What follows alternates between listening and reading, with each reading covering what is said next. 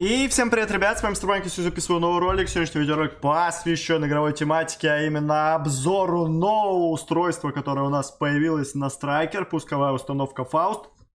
Это устройство, которое дает возможность нам супер быстрой сводки, ну и спустя где-то 500 открытых ультраконтейнеров я все-таки выбиваю это замечательное устройство, и мы сегодня его вместе с вами протестируем. Но если вам нравится подобного рода видеоролики, то обязательно не забывайте поддерживать данный видос лайком, не забывайте подписываться на этот канал.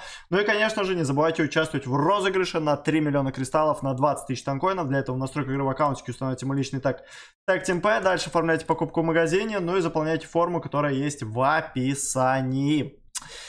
Э, что же касаемо корпуса, на чем мы сегодня, ребяточки, вместе с вами сыграем, давайте попробуем одеть что-нибудь вроде дефолтного викинга, э, корпуса, который, наверное, не супер сильно будет подходить под этот страйкер, но, по сути, его вся актуальность в как раз-таки сводках, поэтому мы будем стараться на постоянной основе сводить противника, ну и посмотрим, какой урон будет вылетать и насколько эффективно вообще будет работать это устройство исходя из тех параметров, которые написаны в этом устройстве, э, что-то мне подсказывает, что оно может быть очень даже неплохим, а может быть даже и супер имбовым. Так ли это на самом деле? Проверим сейчас э, вместе с вами. Запикивает меня на Джиггернаута. Ну и в рамках Джиггернаута, наверное, я бы не хотел бы сейчас тестировать это устройство. Возможно, в одном из следующих видеороликов мы попробуем затестировать это устройство сразу же против Джаггера. А сегодня хотелось бы просто первое впечатление дать о устройстве и о том, как оно вообще работает, познакомиться, может посмотреть, э, насколько оно в мете, насколько оно в порядке.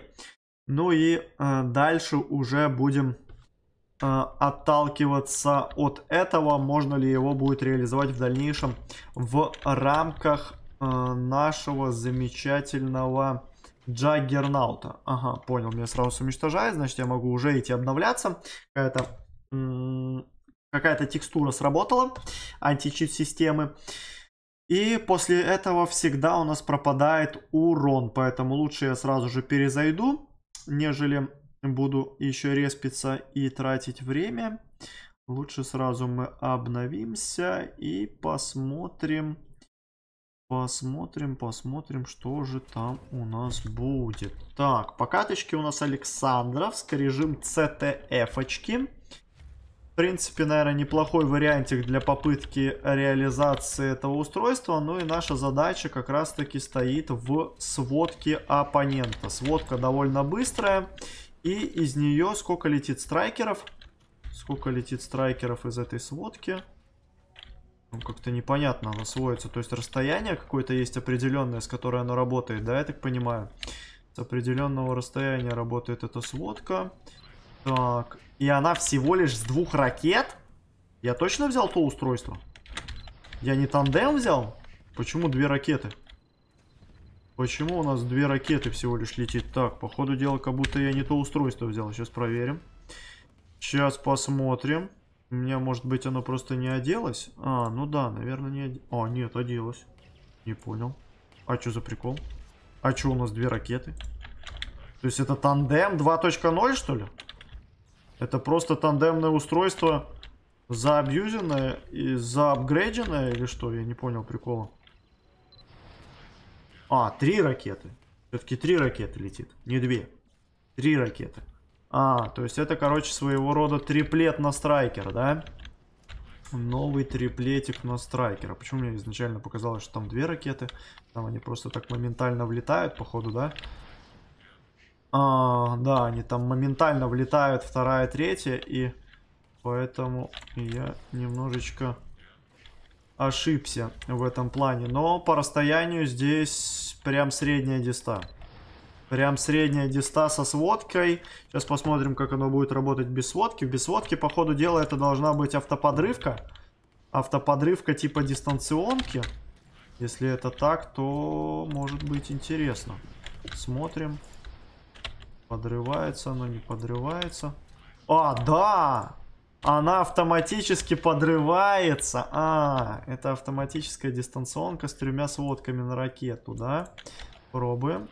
А почему? А, у нее только определенная дистанция еще, ё-моё.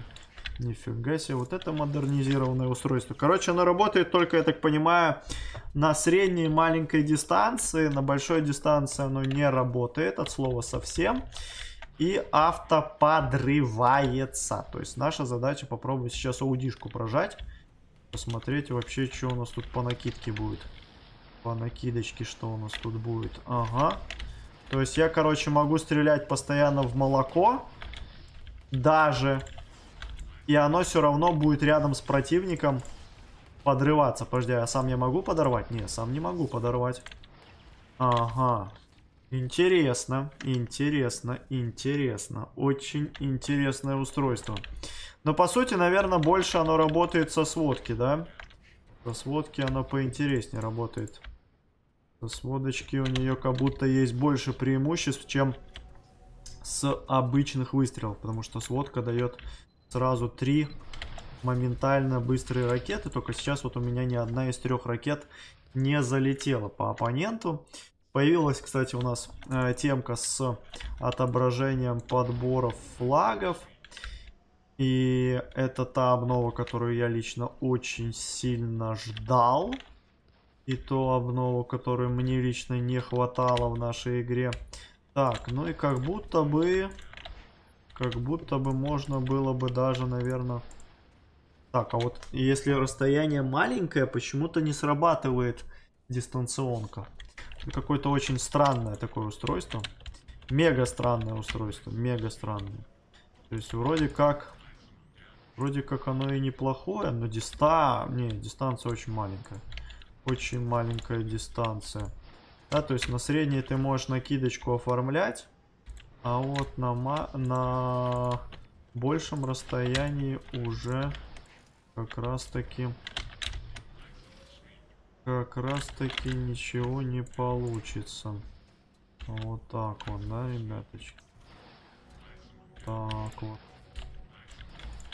Вот так вот, так вот. Пробуем накидать. Так, хоппер заходит на карту. А, вернее, переодевается, чел был на аресе.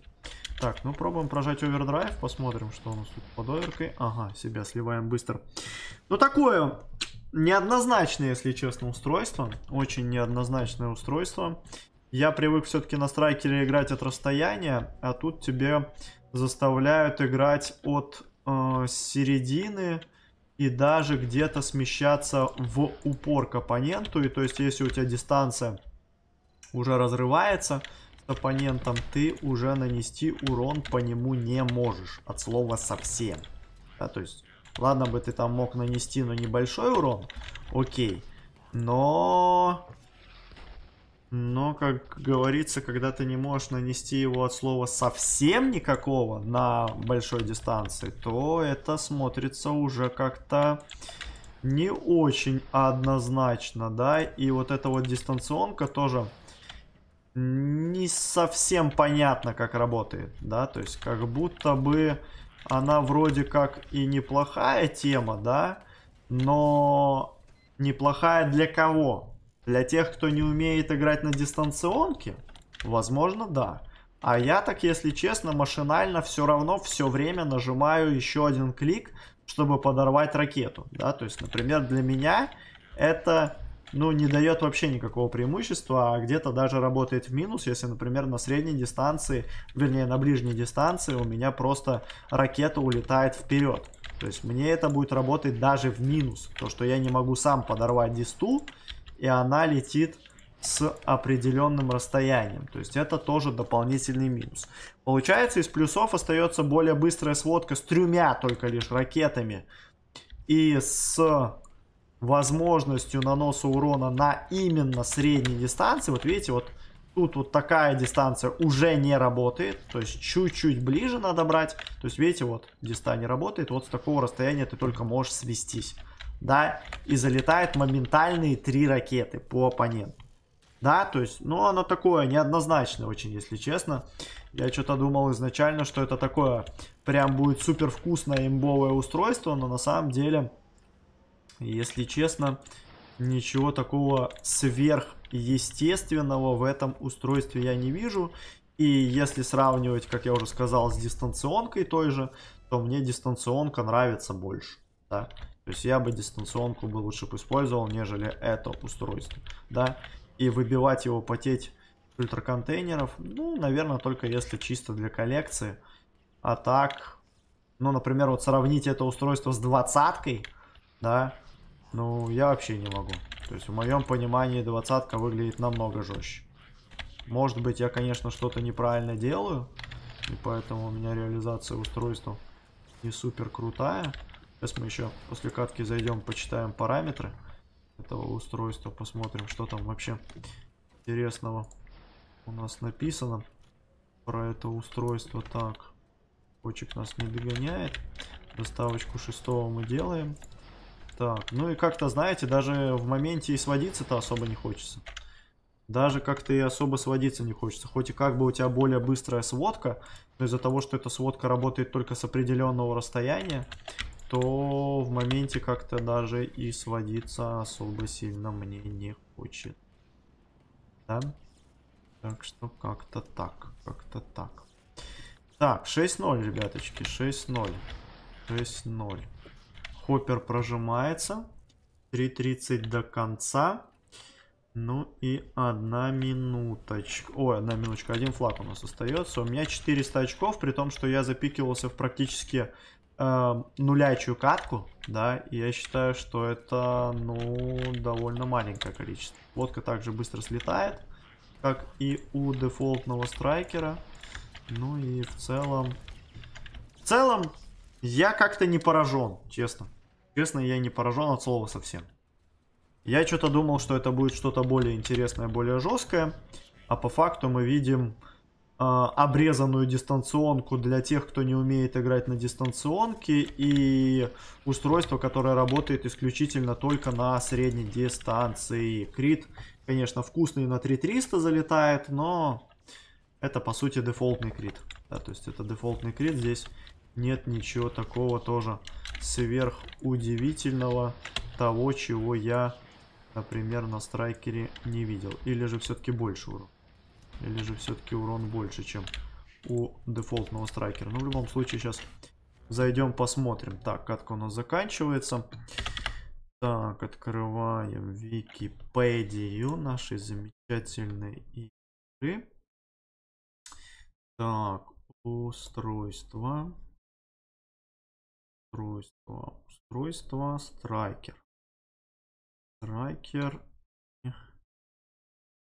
Смотрим, где у нас новое устройство. Тандем, гидро, фауст. Перезарядка минус 50, наведение минус 50, пауза между ракетами в залпе минус 50, дальность 40. То есть у тебя есть быстрая перезарядка, но при этом дальность ограничена. Где-нибудь на маленьких, средних картах, я думаю, что оно будет более актуально. То есть на каком-нибудь сандале, на каком-нибудь песке. Я думаю, что оно будет лучше себя показывать, но на картах, на которых практически всегда кидает в матчмейкинге, я думаю, что это будет не такое жесткое устройство. Пишите, что вы думаете по этому поводу. Обязательно поддержите данный видос лайком, если вам понравился. Подписывайтесь на канал. Если вы еще вдруг не подписаны, у меня, друзья, на этом все. Всем спасибо за просмотр. Всем удачи и всем пока.